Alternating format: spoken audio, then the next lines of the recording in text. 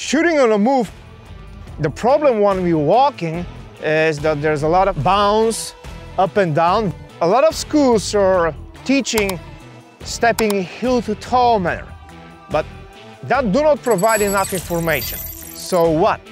Now, in order to be effective in that walking style, we need to understand the principles behind what actually will make it effective. When you're touching the ground with the other foot, we are not transferring the weight immediately on that foot. Actually, we can touch the ground at any point. I can lift that foot from the ground. Then very gradually, I'm going to transfer the weight, gliding the pelvis, trying to keep that pelvis in the plane parallel to the plane of the ground. We call that the stalking cat step. If you step and at the same time immediately you transfer the weight of the body on that step, you will see a severe bounce. Severe bounce. When you touch the ground first and then gradually transfer the weight, there is no bounce, zero, zero disturbance in the sides.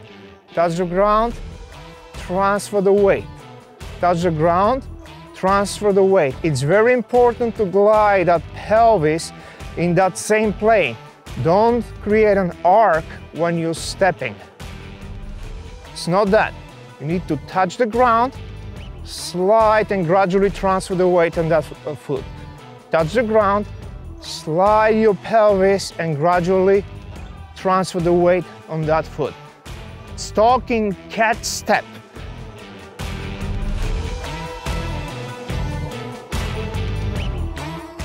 Then we work to gradually increase the pace and the speed of that steps.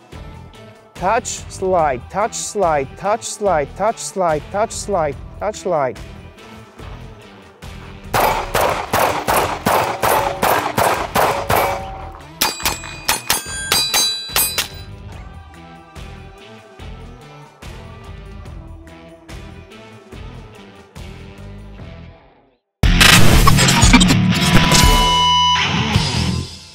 Now, with a little bit more practice and repetitions, you'll be able to turn that walk to quite natural.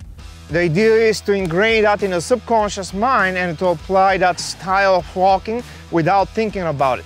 Now, the good news is that you can develop that without a even single shot fired. There's a one very simple exercise. Uh, take a bottle of water, just flip it take your uh, shooting and moving position, extend that bottle in front of the eyes, and now watch the water level when you're applying your technique. The idea is to keep the level, the water level, as stable as possible.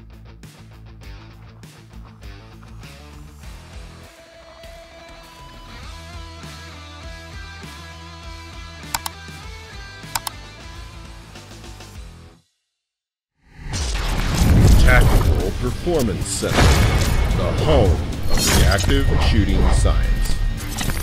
The second element is seeing what you need to see, and this is where the focal the secret is. Never lose track of where the red dot exists at that same focal plane, so I don't have to. Gun and the target